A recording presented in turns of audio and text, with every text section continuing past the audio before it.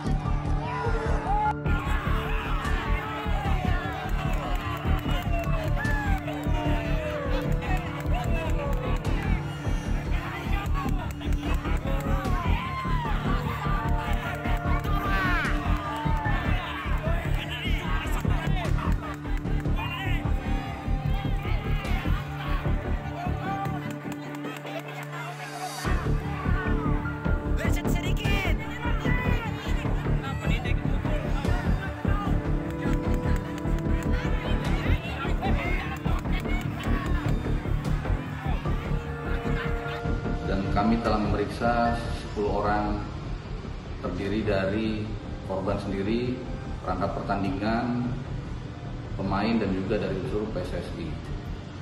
Adapun bukti-bukti yang telah kami kumpulkan yaitu berupa visum, rekaman video, dan juga sepatu yang digunakan oleh pelaku atau pemain dalam hal ini, ada juga baju yang digunakan oleh wasit. Dan dari perkara ini telah kami lakukan gelar perkara kemarin tanggal 25 dan telah kami tetapkan sebanyak enam orang tersangka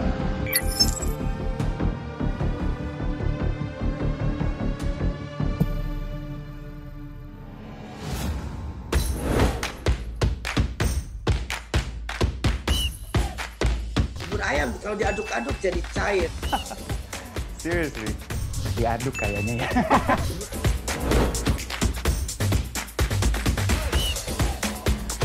Perlu luar negeri gimana ya? Ini demi kemajuan bangsa Indonesia.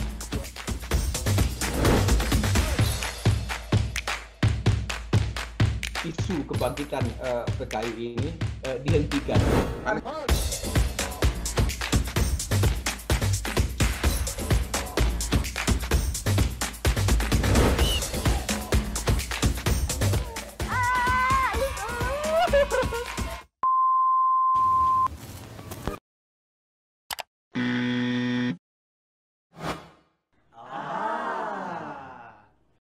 Medcom.id, a part of Media Group News.